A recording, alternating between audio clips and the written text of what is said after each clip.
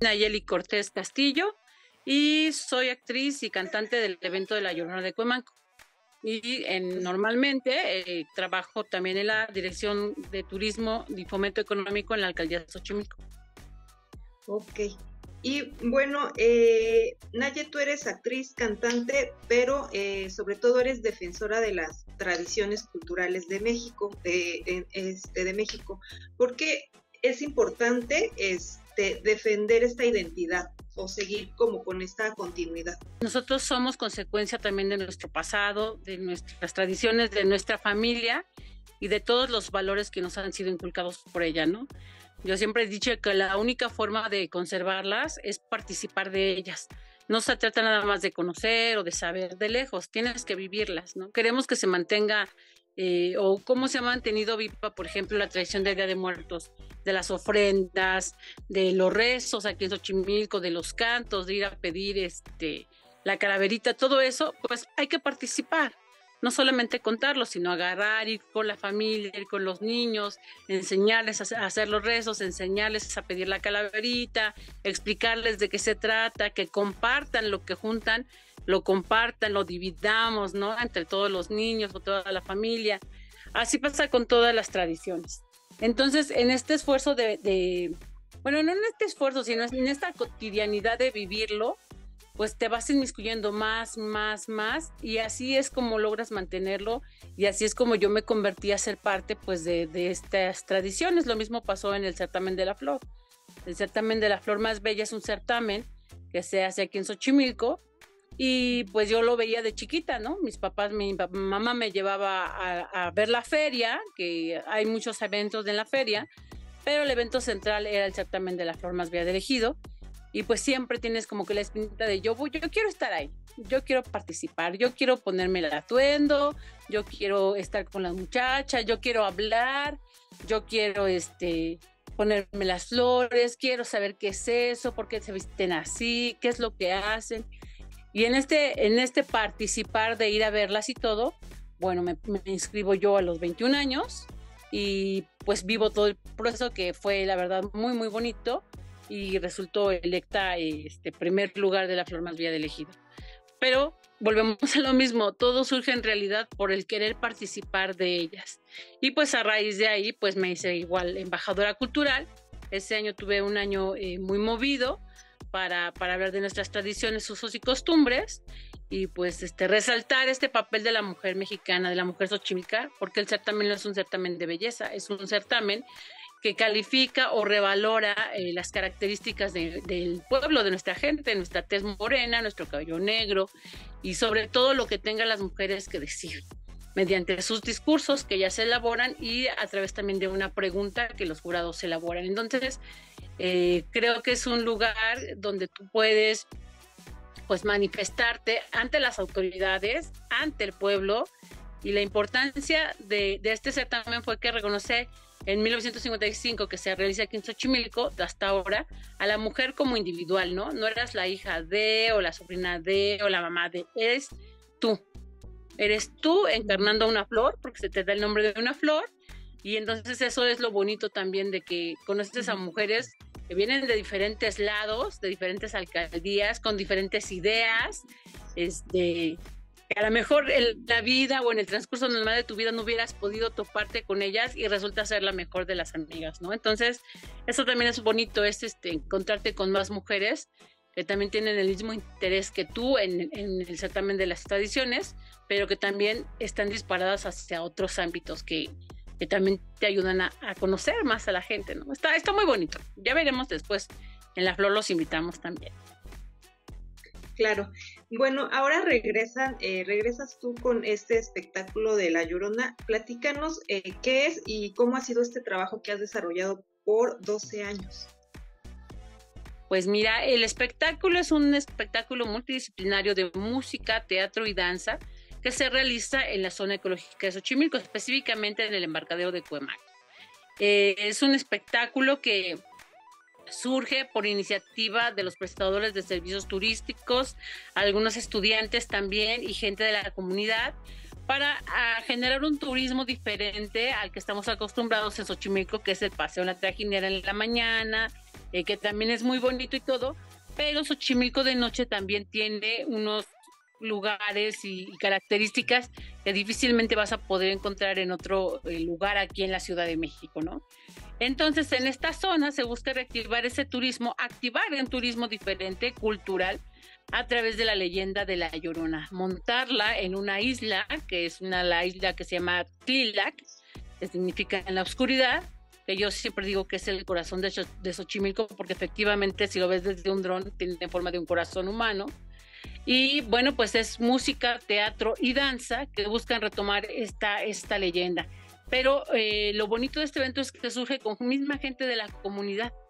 Ellos son los que empiezan haciendo, se convoca a varios estudiantes, me parece que también de Prepa 1, que son estudiantes de, de aquí de la, de la, UNAM, pero este, eran también oriundos de acá. Entonces, eh, se forman eh, un, buen equipo y van poco a poco haciendo este evento que poco a poco se ha ido dado a conocer hasta llegar ahora a los 30 años y que pues ya se volvió de índole internacional.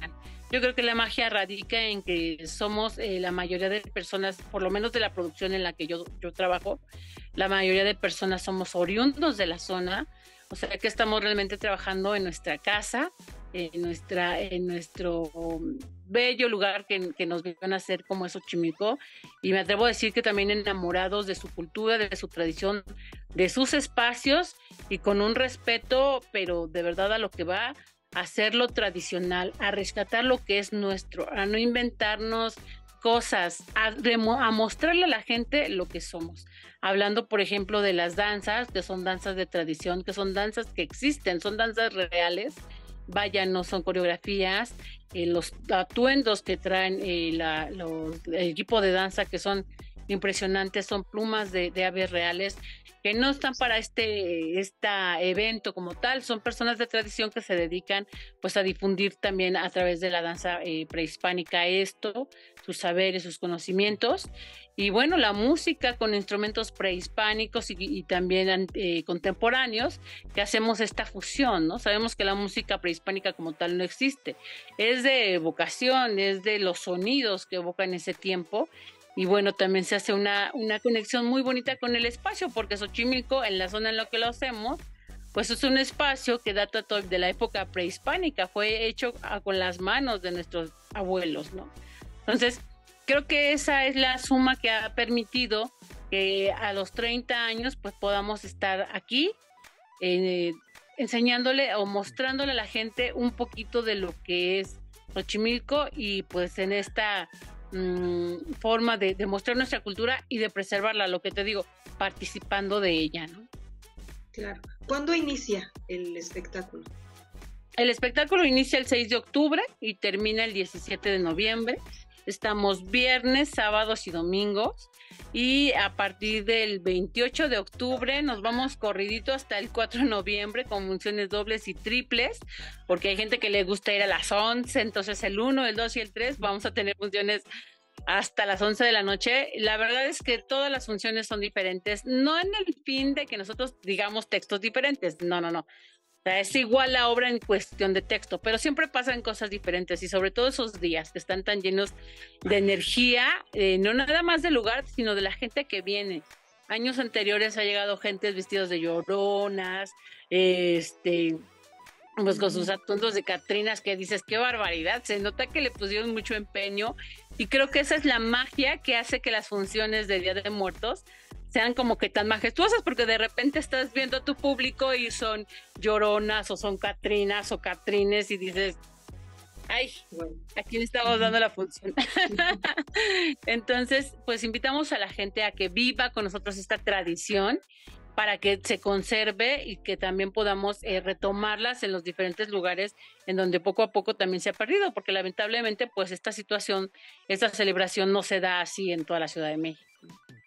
Claro. Nayeli, tú que hablabas todo, todo esta, esta carga que, vas, que van a tener, que ya están teniendo, ¿tú cómo la manejas? ¿Cómo empatas eh, tu faceta de mamá, de esposa, de, de cantante con eh, todo, todo este movimiento de, pues, de mujer, de mujer este, emprendedora y mm. como líder? Pues mira, la verdad es que es muy difícil, es muy difícil. Yo este, este año está muy cargado también de sentimientos, de emociones en el texto, precisamente porque acabo de ser mamá, mi bebé tiene un año. Y sí es una perspectiva muy diferente. Antes pues yo dedicaba todo el tiempo este, pues a mis, a mis actividades, ¿no? Con mi esposo y todo.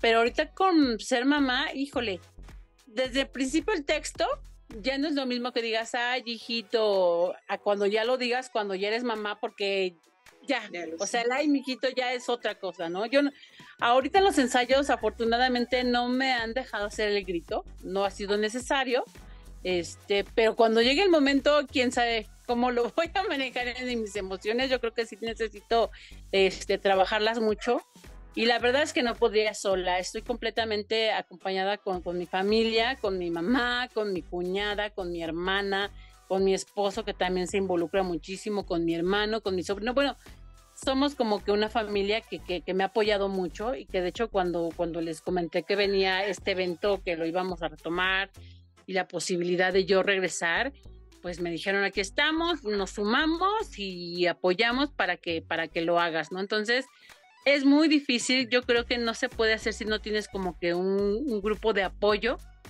para que logres tú estar concentrada en lo tuyo mientras sepas que tu bebé está en, pues está en buenas manos, ¿no? Y yo pues afortunadamente cuento con, mi familia, que es la que me está ayudando muchísimo con eso, pero no es nada fácil, ¿eh?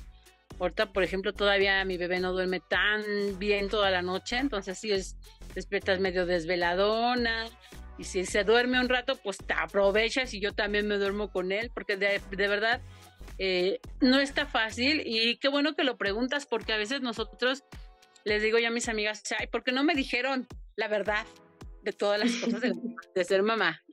Porque no es nada fácil y hay días muy buenos y hay días que estás eufórica y tienes una energía increíble y hay días que no te quieres ni levantar, pero tienes que hacerlo, tienes ese impulso de, tu bebé que, que está ahí. Entonces, pues ahorita, eh, afortunadamente, yo he estado con él completamente 24/7 y pues ahorita es, este, me decía una amiga apenas hace una semana, platica con él, platica con él, dile, explícale que van a ser momentos, que van a ser días y este, tú también suéltalo y deja que, que, él esté bien, porque ya me di cuenta que él está bien cuando no estoy yo, cuando llego yo es cuando mm, ya sufre. Entonces, a veces creo que también como mamás tenemos que aprender a soltar. Suena dificilísimo, ¿eh? Y lo es, pero también tenemos que aprender a soltarlos poco a poquito y este y no sufrir nosotros, también disfrutar los momentos porque se vale, se vale y es necesario que también tú vayas poco a poco retomando tu vida, tus actividades sin descuidarlo y se vale también decir necesito un este una, una forma de regresar a lo que era también antes mi vida, porque si cuando llega un bebé, cambia todo. Así que vamos a ver cómo me va con el llanto del, del bebé o con el grito, creo que ahora sí voy a sufrir de bebé. No, seguramente te va a ir genial. Ya para finalizar, eh, Naye, me gustaría saber eh, tu opinión de por qué es tan tan mágico, tan enigmático, tan fuerte este personaje de La Llorona? Mira, cada vez que me preguntan eso de por qué La Llorona jala o por qué lleva tanta gente o todo, creo que tiene que ver con tu pregunta y es porque desgraciadamente es un personaje que sigue latiendo, que sigue viviendo entre, entre dos mundos, pero que sigue siendo un sentimiento que está presente desgraciadamente en nuestro país hay muchísimas, bueno, en nuestro país que digo en el mundo, ¿no? En nuestra comunidad hay muchas mujeres que están llorando por sus hijos. Algunos no saben dónde están, qué fue de ellos. Eh, algunas siguen buscándolos y no paran hasta encontrarlos. Eh, vaya, eh, yo creo que no debe haber dolor más, más grande o más profundo que simbre, ¿no? O sea, aparentemente, pues la vida sigue, pero yo creo que una mamá cuando pierde a un hijo, pues tu, mundo para. Yo no, no, lo, no consigo ahorita siquiera imaginarlo. Entonces, yo creo que toda esta, toda esta energía, todo este amor, toda esa búsqueda, toda esa esperanza, todo ese clamor por justicia, es lo que está tan enraizado que sigue aquí que sigue con nosotros, que sigue presente y es lo que le da de alguna forma alma o vida a este ser para seguir entre nosotros. Entonces, desgraciadamente creo que esa es la, la razón por la que la llorona, y no nada más sigue en nuestra mente, ¿no? Sigue vigente y sigue caminando y deambulando. En nuestro caso aquí se dice que por los cruces de caminos y en los grandes cuerpos de agua, Xochimilco todavía tiene 186 kilómetros de canales navegables, entonces cuerpos de agua tenemos. Entonces yo creo que por eso aquí en Sochi te puedo decir mucha gente que la ha escuchado, que la ha visto, eh, que se ha llevado alguno que otro borrachín por ahí, que es muy, muy bella de lejos, pero ya cuando ya la tienen ahí es una mujer eh, descarnada. Pero yo, nuestra versión, y es la versión que tenemos aquí, es que no es una mujer mm, que busque espantarte, o que busque llevarte, o que busque matarte. Es simplemente un espectro, un ente que está tan adolorida y además tan cansada y tan esperanzada de encontrar a sus hijos que no va a parar, ¿no? Entonces, por ejemplo, en nuestra obra, ella, está Nahui, que es el personaje, cuando ve que los españoles, pues evidentemente están matando a su pueblo, ya mataron a parte de su pueblo, no quiere que pase lo mismo a su hijo por manos de, en manos de ellos. Ellos no, no les da la posibilidad a ellos de darle su nombre, que también lo querían bautizar, ¿no? Ella lo bautiza ella, pero no bajo la fe que ellos profesan. Entonces, es tanto el amor que ella tiene que prefiere ella entregarlo o ofrendarlo a su madre Sihuacoat antes de que los extranjeros pongan una mano sobre él, ¿no? Entonces también creo que es un acto grandísimo de amor, pero también dice, yo te lo doy, acógelo, tómalo en tu seno y yo voy a buscar a todos tus hijos. Yo me encargo de buscarlos, no voy a parar hasta encontrarlos a todos y, tener y estemos todos juntos, pero mientras tanto acoge al mío en tu seno. Entonces, por eso sigue buscando en esta, en esta promesa mientras, mientras acogió a su pequeño. Entonces, pues es un acto de amor, ¿no? Ella no lo mata, ella lo ofrenda y es algo muy diferente. Y, y esa connotación, pues le da un sentido diferente a nuestra llorona como una madre amorosa, protectora, doliente y, pues también que, tuvo una palabra y que la sigue cumpliendo y sigue buscando y llorando a sus hijos perdidos, ¿no? Claro. Naye, pues muchísimas gracias. Yo te agradezco muchísimo esta plática que estuvo súper padre. Eh, no sé si quieras agregar algo que se nos haya escapado. No, pues los esperamos en el 30 aniversario de La Llorona. Este año se llama Chocani. Eh, porque mm, Chocani significa llorona en náhuatl y entonces este año va dedicado precisamente a darle el valor y el peso a la palabra y a los nombres, ¿no? Como todo lo que significan, porque los significados en náhuatl no tienen que ver nada más con referirte a algo, tiene que ver con todo un simbolismo, con toda una idea, con todo un concepto. Entonces, este año va de eso, con la importancia de nombrar las cosas como los nombraron nuestros antepasados y conocer el por qué. ¿No? Entonces eso está. Y decirle a la gente que el 6, 7 y 8 de octubre tenemos una promoción, estamos al 2 por 1 para que aprovechen las familias. Este, estamos en venta en Ticketmaster y en taquillas del embarcadero. Que no se lo pierdan, que sigan nuestras redes sociales. Te voy a pasar la liguita con todas las redes sociales y que vamos a estar teniendo dinámicas para que invitemos a toda la gente a que venga a ver La Llorona, 30 aniversario de nuestra Llorona, nuestra queridísima Chocani. Pues ya casi, ya casi el Y este, pues mucho éxito, mucho éxito en esta nueva temporada. Gracias, Muchísimas gracias. Y allá te vemos, ¿eh? Gracias, sí, claro que sí. Gracias, Ais.